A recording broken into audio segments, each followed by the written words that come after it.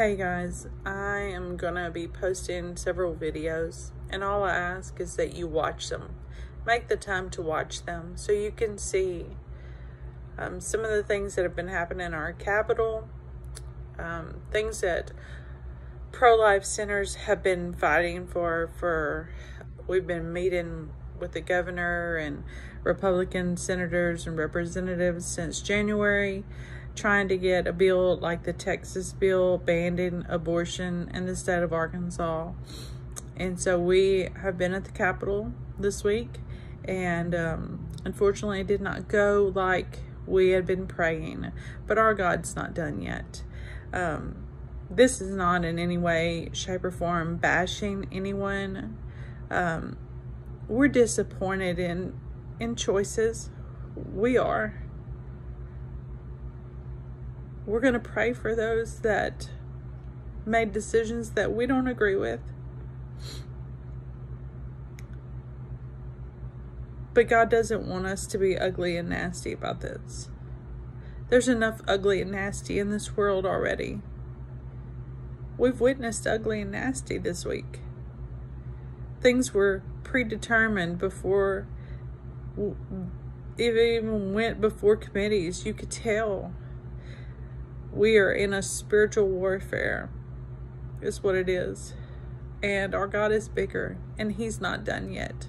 And guess what? We're not either. We've been called by god to fight for the voiceless and we will do it to the bitter end until he calls us home. So i may offend people and you'll just have to get over it because my God forgave me for mistakes that I made and I gave him my life completely and told him that I would fight to the bitter end. And I might not always say things and do things the political, politically correct way, but I have always been real and raw and honest with the people. In us pregnancy centers, we don't speak up. We don't ask for things unless it's a true need. And this is a true need. We need you to pray. We need you to pray that hearts are changed. Hearts are changed. It is heartbreaking to know the potential of something. And just because certain people have decided to believe certain ways, innocent children are dying. 10 babies a day in Arkansas. The average is 10.1 and six days a week in Arkansas.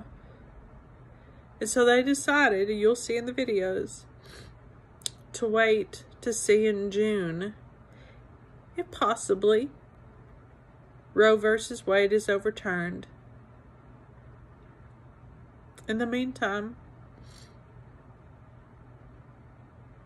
babies are dying.